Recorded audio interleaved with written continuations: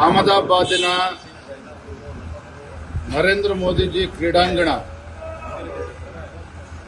ಇವತ್ತು ಭಾರತ ಮತ್ತು ಆಸ್ಟ್ರೇಲಿಯಾ ನಡುವೆ ವಿಶ್ವಕಪ್ ಫೈನಲ್ಸ್ ಪಂದ್ಯಾವಳಿ. ಇಡೀ ದೇಶ ನಿರೀಕ್ಷೆಯಲ್ಲಿದೆ. ಇಡೀ ದೇಶ ಭಾರತ ಗೆಲ್ಲಬೇಕು ವಿಶ್ವಕಪ್ ಗೆಲ್ಲಬೇಕು ಅಂತೇಳಿ ಇವತ್ತು ಎಲ್ಲರೂ ಕೂಡ ಪೂಜೆನ ಸಲ್ಲಿಸ್ತಾ ಇದ್ದಾರೆ ಎಲ್ಲರ ಆಶಯನೂ ಕೂಡ ಅದೇನೆ. ಈ ಸಂದರ್ಭದಲ್ಲಿ